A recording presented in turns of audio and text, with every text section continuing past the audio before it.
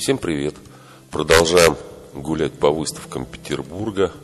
Выставка Егора Плотникова и Евгении Буравлевой. Называется она «Пейзаж посторонним» музей Рарта. Евгения Буравлева родилась в 80-м году в городе Киров, Россия.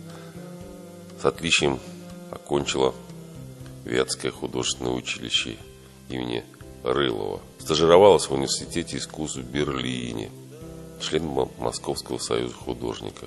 И работа находится в собраниях Российского фонда культуры и частных коллекциях Германии и России. Егор Плотников, 80-го года рождения, тоже родился в Кирове, тоже закончил Вятское художественное училище, член Московского союза художников, также участвовал в отечественных и международных выставках, в том числе в Италии, Великобритании, Бельгии, Германии – вот хочу показать вам картины. Вот как написано в анонсе. Пейзажи Евгении Буравлевой задумчивые и меланхоличные.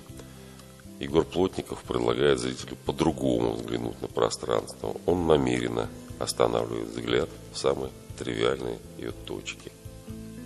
Ну, посмотрите, для того, чтобы быть в теме. Все, всем пока, всем привет, до свидания, всего хорошего, до новых встреч.